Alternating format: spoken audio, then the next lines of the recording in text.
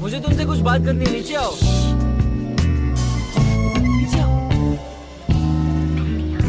ठीक है, मैं आता हूँ।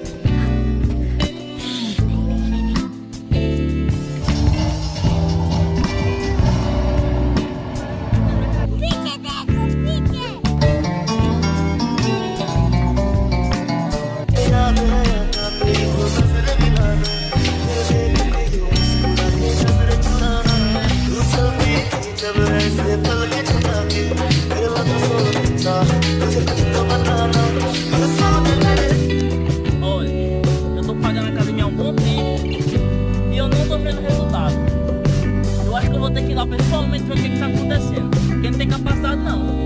Eu não tô indo, mas eu tô pagando,